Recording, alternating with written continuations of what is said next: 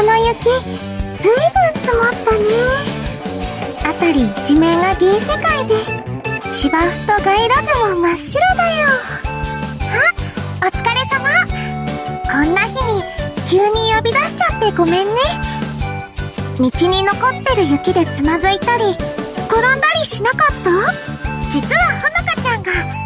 せっかくこんなに雪が積もったんだから公園で遊ぼう。って言い出してね。ったのけどこの公園に来るまでが大変だったな。バスは遅れるし歩道も雪が溶けて凍ったりしてて歩きにくくって。あーっとっとっと。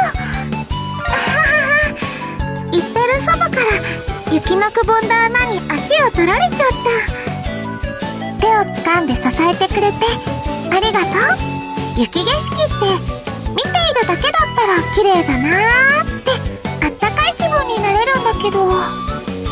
こうしてどこかに移動するときは結構一苦労だよね。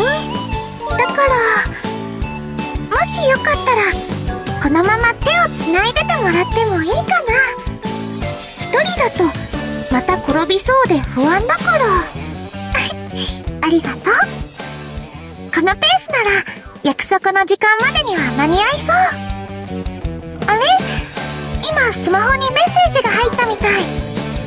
写真？もってあほのかちゃんたち待ち合わせ場所に着いてるって。しかもその後ろに雪だるま。